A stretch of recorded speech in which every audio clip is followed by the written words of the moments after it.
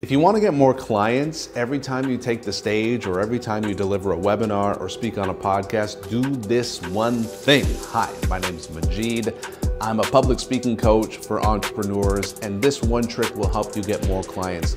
It's called focused empathy. And focused empathy is when you think about just one person. Sometimes it's called an avatar, sometimes it's called an ideal client.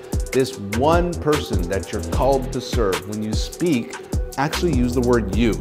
I can help you. Are you struggling with this? Do you want help? And when you have that focus on one person, they can really feel it. And they'll come up to you after the speech and they'll say, I feel like you were talking to me. So instead of saying you guys, or instead of saying all of you, and instead of thinking about the audience, think about that one person who's lying awake at night struggling, dreaming that someone like you exists, that you can help them that will help you get more clients. If you would like a specific strategy to get speaking engagements and get clients, that's my specialty and I would love to help you. You can schedule a free one-on-one strategy call. I work with coaches and consultants that'll help you map out a plan to get more speeches and use those speaking opportunities to attract more clients and build your business. Schedule a one-on-one strategy call with me. The link is in my bio.